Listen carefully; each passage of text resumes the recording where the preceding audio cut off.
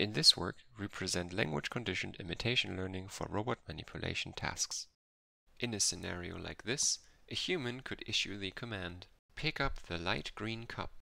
Multimodal information from vision and language is used to generate robot control policies. In particular, perception is used to extract contextual information about the scene.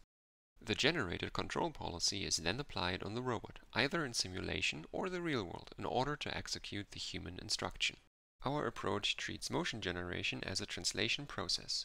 Vision and language information is used as input to translate to the robot policy domain. By using imitation learning, the robot learns to execute picking and pouring actions while following desired task modifiers like a little and all of it during policy generation. This way, the robot does not only learn the where and what from the language input, but also how to achieve the goals that have been described by the user. For more information, please visit our Spotlight talk at NeurIPS 2020.